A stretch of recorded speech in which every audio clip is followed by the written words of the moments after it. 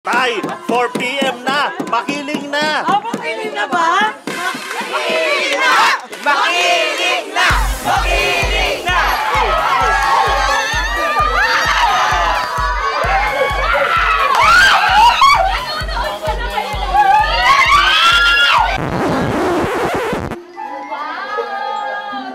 Yun, oh. Nanonood ng makiling. Mga kapuso! 4pm na!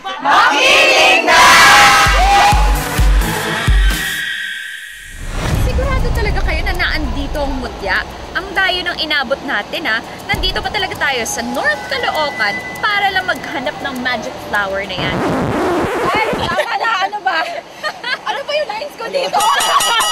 Kasama ninyo ang Crazy Five at excited na excited kami ngayon na magsugod! Bye! Balita ko nanonood na daw sila na makiling. Ano, manunugod na tayo? Ito talaga? Tara na! Okay. Tara na!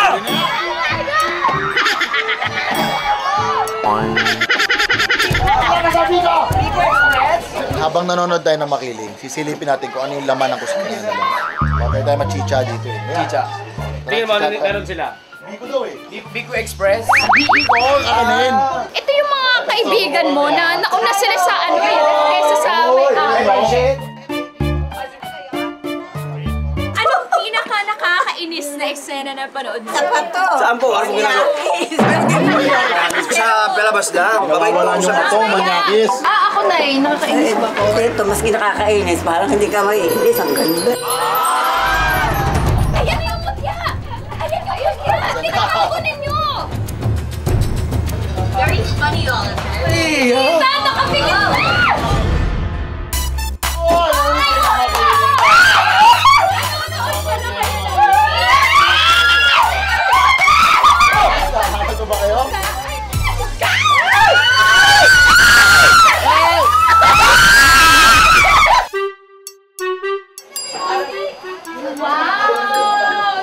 Yun, oh. Nanonood ng makiling. kasi culture kasi ah, okay. kasi syempre yung mga old stories tinitingnan ko eh Mga alamat, no?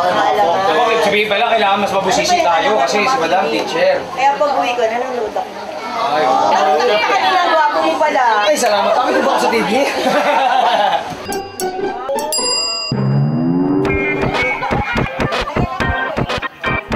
Sino na lang po ang favorite character nyo? Yeah! Ako lang kasi nandito eh. ano po yung favorite nyo eksena? Ay, magkikiss na kami! ang langit, lupa, tubig at ang hangin. Favorite ko rin yun eh. Kapag 4pm na, Kung